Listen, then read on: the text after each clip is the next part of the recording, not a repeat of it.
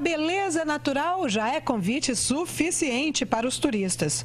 No litoral sul capixaba não faltam belas opções para curtir o verão.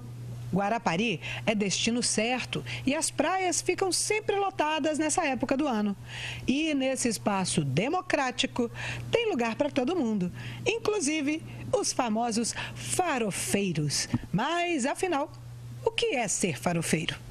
Eu acho que um farofeiro na praia, é, o que faz dele um farofeiro é trazer tudo que que é possível de casa e chegar na praia, fazer bagunça, jogar isopor, jogar plástico, jogar é, é, é osso de galinha se trouxer o frango lá, jogar o osso na praia, sujar a praia, fazer bagunça na praia e não cuidar daquilo que é nosso.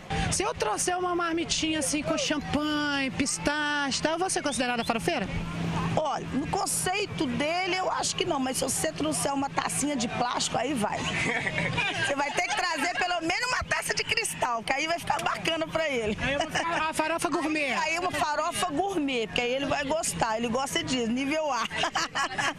Quem trabalha por aqui nessa época, com farofa ou sem farofa, comemora o movimento. A cidade fica mais bonita, mais bela, mais encantada com esse movimento de verão, que é, é, é curto é apenas um mês e uns 15 dias. Graças a Deus está muito bom, melhor do que o ano passado.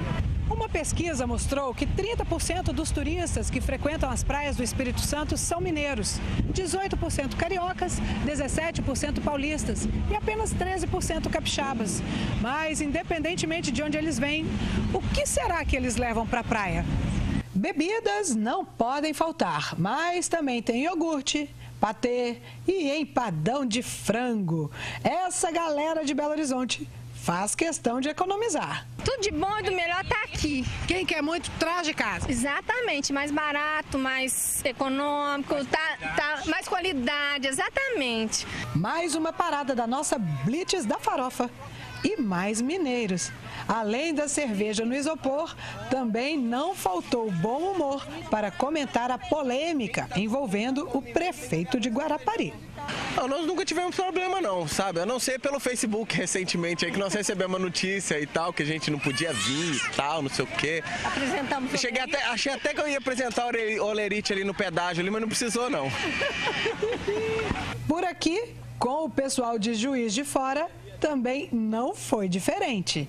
Nós já comemos pastel, empadinha, né? Tem que comer na praia. Vamos ajudar o prefeito, né, coitado? Ele tá precisando de ajuda. E é assim, nessa alegria, que os turistas, farofeiros ou não, deixam o litoral capixaba com a cara que ele tem. Vai agora, nós vamos invadir sua